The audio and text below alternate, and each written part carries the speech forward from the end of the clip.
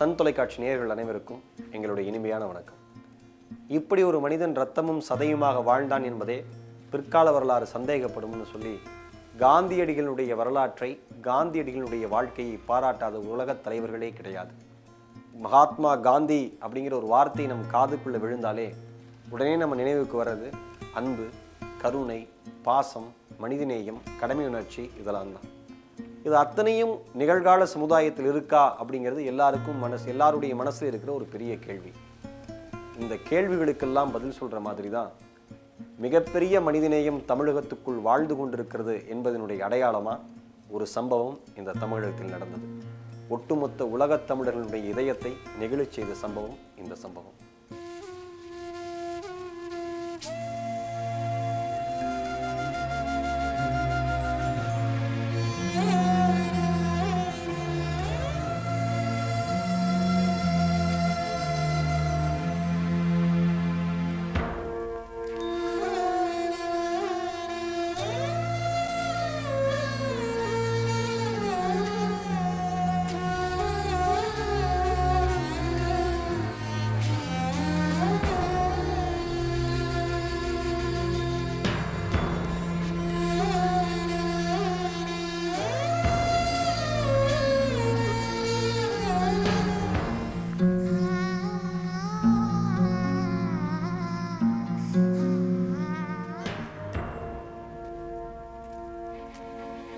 I've lost my son, uh, my uh, my very loving son. அதாவது இந்த சூழ்நிலை வந்து நாங்கள் எதிர்பார்க்காத ஒரு சூழ்நிலை. எல்லாம் ஏமாத்திட்டு போயிட்டோம். என்ஜாய்மெண்ட்டோட லைஃப் என்ஜாய்மெண்ட்டோட இருக்கணும் அப்படின்னு நினைப்போம். இதெல்லாம் ஒன்றும் இல்லை அங்கிள் இதோட பெரிய பெரிய விஷயங்கள்ல என் பேர் பேப்பரில் வரும் நீங்கள் எப்போ பார்ப்பீங்க நான் யாருன்னு அப்போ தெரியும் அங்கிள்னா நான் அது இந்த மாதிரி வரும்னு நாங்கள் கொஞ்சம் கூட எதிர்பார்க்கல. அந்த doctor Ashokan and Mrs doctor Ashokan ரெண்டு பேருக்கு நம்ம ரொம்ப பாராட்டுறோம். இந்த இந்த மாதிரி uh, அவரை இந்த- அவர் இந்த மாதிரி முடிவு பண்ணி ஒரு ஒரு போல்டு ஸ்டெப் எடுத்தாங்க.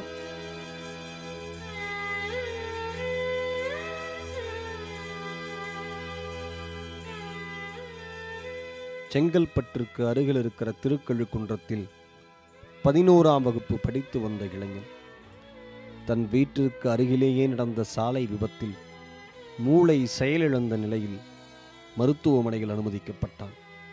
மருத்துவர்களாக இருக்கும் ஹிதேந்திரனின் பெற்றோர்கள் அசோகனும் புஷ்பாஞ்சலியும் அந்த நிமிடத்தில் எடுத்த முடிவு உலகம் முழுக்க இருக்கிற தமிழர்களின் இதயத்தை நெகிழச் செய்வதாக இருந்தது. ஒவ்வொரு பெற்றோரும் பார்த்து ஆச்சரியப்படுகிற வண்ணம் ஹிதேந்திரனின் பெற்றோர்களினுடைய மனதினுடைய துணிவு எல்லாருடைய மனதிலும் இடம் பிடித்தது.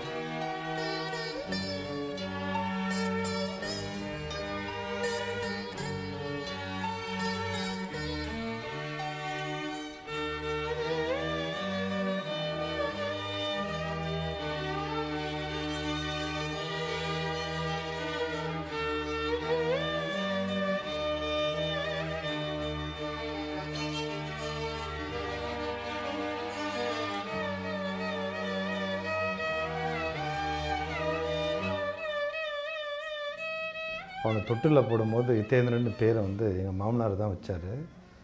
அவர் எங்கே பார்த்துட்டு வந்து வச்சாருன்னு எனக்கு தெரியல. பொதுவாகவே எனக்கு வந்து தமிழ் பேர் வைக்கணும்னு ரொம்ப ஆசை. இத்தேந்திரன் வந்து வடமொழியாக இருக்க வந்து ஹீ வருத அந்த முதல் சொல்ல. அதனால் வந்து வேறு பேர் எதனா வைக்கலாம் அப்படின்னு நான் சொன்னேன். இல்லை இல்லை. இத்தேந்திரன் அப்படின்னு சொன்னால் இந்திரனுக்கு இன்னொரு பேர் இத்தேந்திரன். அதே சமயத்தில் வெல் விஷர் அதாவது எல்லாருக்கும் நல்லது செய்வான்றது தான் அதோடைய வடமொழி அர்த்தம் அப்படின்னு சொன்னார். சரி மாமனார் பேர் நான் தட்டக்கூடாதுன்னுட்டு அதே பேர் வச்சுருங்கன்னு சொன்னார் அதுதான் ஹித்தேந்திரன் அப்படின்னு இப்போ எழுதும் போது சில பேருக்கு உச்சரிக்கிறதும் கொஞ்சம் கஷ்டமாக இருக்கும். எழுதுறதும் வந்து பிழையோடு தான் எழுதுவாங்க. அதனாலே வந்து நான் ஒரு ஒரு வித்தியாசமாக இருக்கேன்னு பலமுறை யோசிப்பேன் நான். ஆனால் அந்த பேர் இந்த அர்த்தத்துக்கு ஏற்றாப்படி அவனும் வந்து செஞ்சுட்டு போயிட்டான்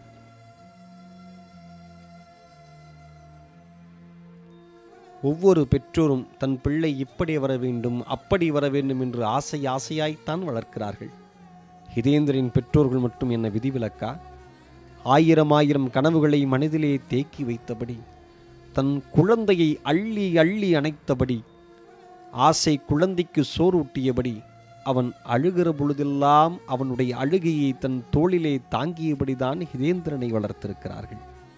ஆனால் தாய் தந்தை என்கிற இதயத்தை சற்றே தள்ளி வைத்துவிட்டு மருத்துவம் என்கிற ஒரு மனித இதயத்தை கையிலே எடுத்தபடி அவர்கள் செய்த செயல் உலகம் முழுக்க இருக்கிற மனிதர்களினுடைய புருவங்களை உயர்த்தத்தான் செய்தது.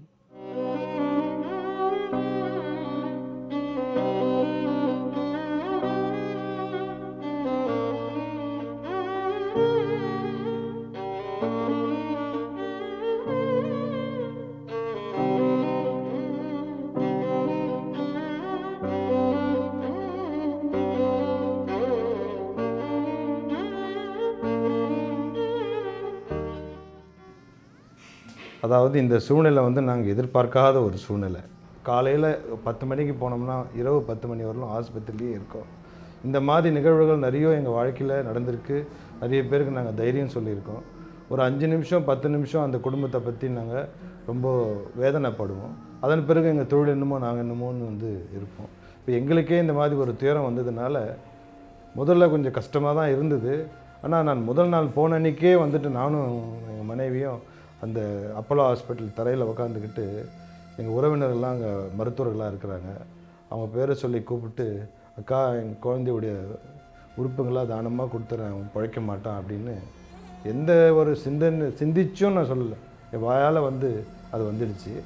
அதுக்கு காரணம் வந்து என் படிப்பாக தான் இருக்கணும். ஏன்னா நாங்கள் எங்களுக்கு தெரியும் பிரெயின் டெத்துன்னு சொன்னால் மற்ற உறுப்புங்கள்லாம் வந்து உயிரோடு தான் இருக்கும்னு சொல்லிட்டு. இது ரொம்ப சிந்திச்சு எடுத்த முடிவே கிடையாது. நான் சட்டுன்னு நான் சொல்லிட்டேன்.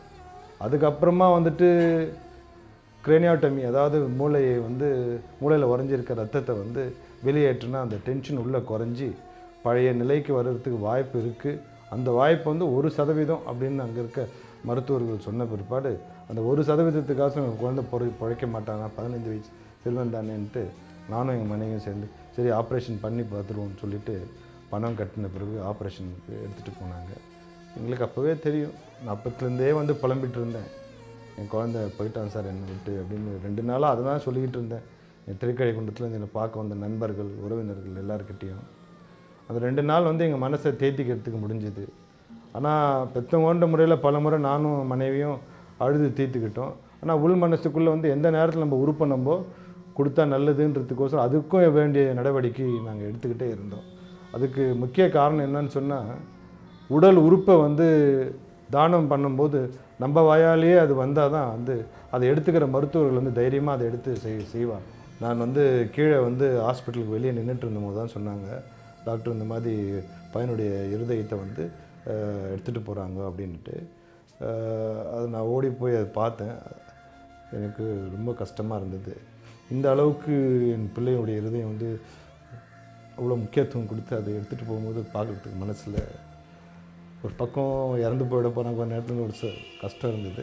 இன்னொரு பக்கம் அந்த இதயம் வந்து வீணாக போகாமல் உபயோகப்படுதுன்றது அது ஒரு பக்கம் தைரியமாக இருந்தது.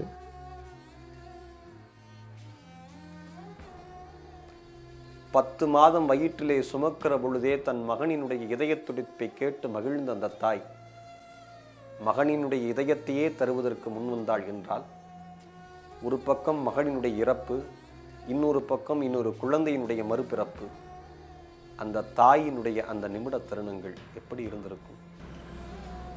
தெரில நான் வந்து அவனை என்னால் பார்க்க முடியல அப்படி.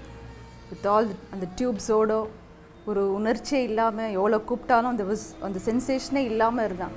இது தேர்ட் டே பார்த்து முடியல. டாக்டர்ஸ் பா அன்னைக்கு சண்டேயோட மண்டே வந்து ஃபேஸ் எல்லாம் வீங்கினே போச்சு. ஸோ டாக்டர் இதுக்கு மேலே வச்சு இந்த metabolic acidosis lot of side effects வந்துச்சு பிபி ஜாஸ்தி ஆகிடும் சோடியம் ஜாஸ்தி ஆயிடுச்சு ஸோ அவனுக்கு பிரெயின் எடிமா கொடி குறையறதுக்கு மேனிட்டால் குடிக்க முடியல. மேனிட்டால் கொடுக்கலன்னா அவனை காப்பாற்ற முடியாது. அந்த எடிமா குறைஞ்சாதான் எதுனா ஒரு லைஃப் வரத்துக்கு பியூப்பிள்ஸ் ரியாக்ஷன் வரும். அவனுக்கு உயிர் வரத்து வாய்ப்பு இருக்குது மேனிட்டால கொடுக்க முடியல. அப்போது இஸ் நோ சான்ஸ் ஸோ இதுக்கு மேலே என்னால் பார்க்கவே முடியல. டாக்டர் நீங்கள் ப்ளீஸ் ஆர்கன் டொனேஷனுக்கு என்னென்ன அது என்னென்ன டெஸ்ட்டுங்கெலாம் பண்ணணுமோ ஸ்டார்ட் டூயிங்னு சொல்லிட்டோம்.